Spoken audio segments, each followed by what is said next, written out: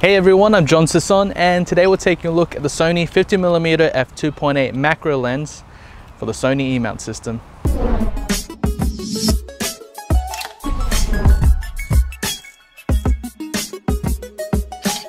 Now Sony have released yet another 50mm lens and this time it's in the form of a macro.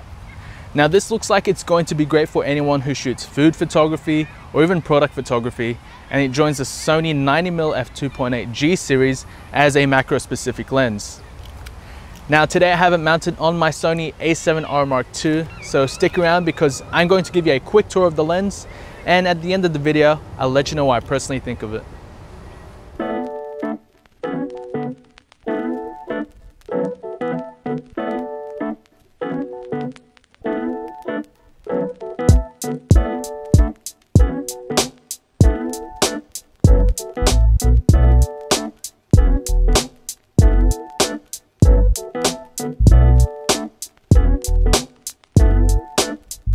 The 50mm f2.8 has a plastic and metal construction. It has a metal focus ring and a metal mount. On the side there is a focus switch to change between autofocus and manual focus, a focus hold button, and a focus distance limiter. The first option is to use the lens's full autofocusing range. You can also limit it from 30 centimeters to infinite, and the last option is to allow the lens to focus from 16 centimeters to 30 centimeters.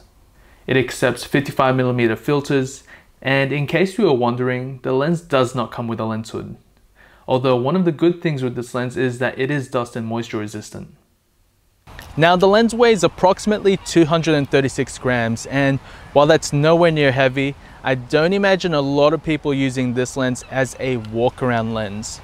But if you do intend to use it, I do suggest using the focusing limiter just so it reduces the hunting time.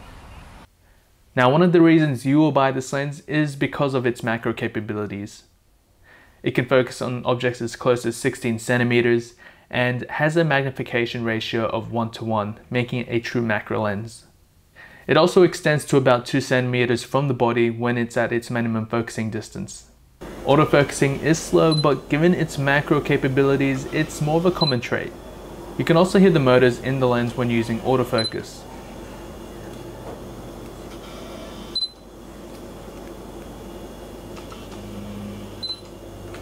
Now, there's no image stabilization with this lens, so I do recommend shooting at a shutter speed fast enough to prevent any blur, or simply using a tripod which would alleviate the issue. Also, using this lens with Sony's ring light does give you some added lighting for different types of shots. In terms of image quality, it's extremely sharp when stopped down, and I got some pretty decent out of focus blur when shooting at f2.8. I did notice a bit of vignetting and chromatic aberration when I was shooting wide open with the a7R Mark II, but it's not a huge issue. Shooting with the 50mm f2.8 is a strong lens when shooting close up, but it can also be used as a standard lens with zero distortion. Also, the contrast and colors were surprisingly good out of a relatively cheap lens. Now all these photos were shot in RAW and then converted to JPEG. The Sony 50mm f2.8 is a lens I find a lot of people using for food photography, uh, product photography, and even people wanting a general standard prime lens that is affordable with macro capabilities. While it's certainly not fast to autofocus, I would say manual focus is more your friend, but the only thing I really hate about it is that it takes so many turns to get what you want in focus sometimes. In terms of image quality, it's very sharp, especially when you stop down to about f5.6.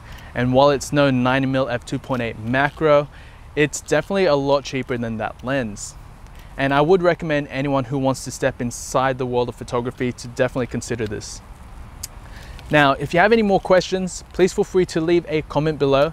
And if you already own one, let me know what you think of it. And remember to like this video if you found it helpful and subscribe to my channel for more Sony lens reviews and tutorials.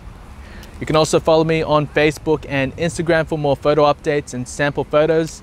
And also take a look at the description below for more information. Now until then, happy shooting and thanks for watching.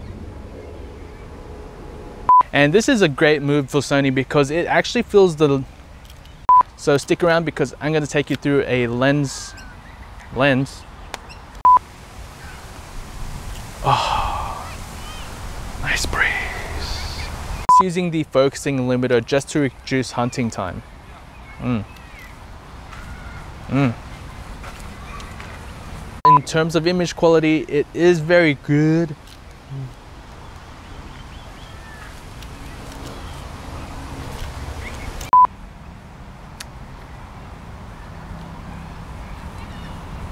Stuff. I'm... Bah.